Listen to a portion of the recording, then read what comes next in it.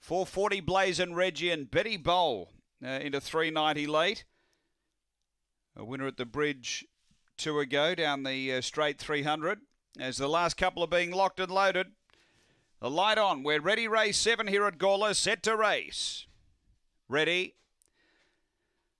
On their way, Patchy sort of start. Dream Milalingi out okay. Cross quickly by Missy Two Toes and going quickly. Blazing Reggie underneath it from Corborn Clancy. There's a line of three. Next is Betty Bowl, Dream Milalingi. Uh, then McAlpine, King Jeremy. Lilyhammer was wider out. They race to the bend. And Corborn Clancy's been able to pinch a break over Blazing Reggie. And Corborn Clancy uh, beats Blazing Reggie. Third Betty Bowl. Then Dream Milalingi. They were followed behind those King Jeremy, Missy Two Toes, Lilyhammer and McAlpine back at the tail end. The time is around 23 seconds.